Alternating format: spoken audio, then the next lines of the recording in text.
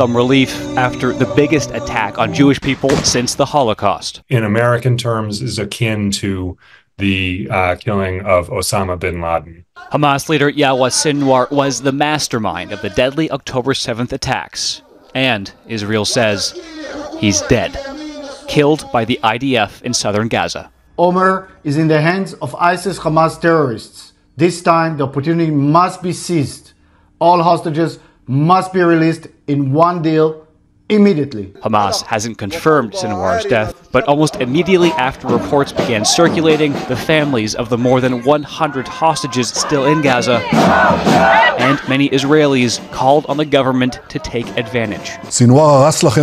Israeli Prime Minister Benjamin Netanyahu says evil was dealt a blow and that Israel will continue in Gaza until the hostages are home. A former Israeli intelligence officer cautions things could get more difficult. We're dealing in a situation where we, it may be the case uh, that you have hostages that are scattered in different places, that are being held by different people. Avi Melamed has hope, but also warns Hamas won't just vanish. It is possible that there will be leadership in Hamas that does not want to pursue uh, the continuation of the war, and that may change political dynamics in Israel as well. That includes Netanyahu and his far right coalition members, this expert says. But Ned Lazarus tells Global News the forces still pushing for conflict may lose their sway. The U.S. again trying for peace. The world is a better place with Sinwar gone from it, and it gives us an opportunity that we didn't have as long as he still called the shots.